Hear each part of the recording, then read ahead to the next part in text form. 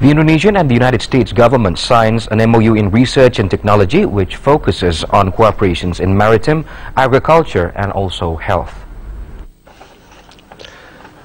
The cooperations between the United States and Indonesia in science technology, such as the development of vaccine, research in malaria, and also the development in detecting biological threat.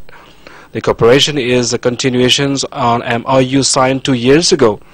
In its action plan, both countries agree setting the right mechanism in exchanging its scientists such as in terms of funding and also how such findings will be made public. Assistant Minister for Research and Technology Mulyanto at a joint committee meeting said that cooperation is a form of support to accelerate and expand the economic development in both countries through the development of human resources and also science technology.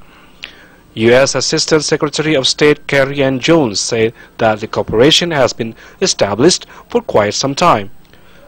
Among the many cooperations is USAID and researches conducted in Indonesia.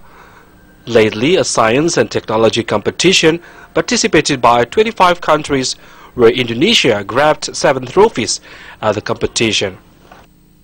Specific things that may come up in a particular working group or a particular project. So some of the things we want to look at is how do we make it easier to have student exchanges or have people move, scientists move between the two countries. Um, sometimes the way one, one agency in the U.S. does funding and, and an agency in Indonesia does funding may not make it easy for the scientists. So how can we help make it easier? At the Joint Committee meeting, both countries also delivered the many obstacles faced in successing the cooperation.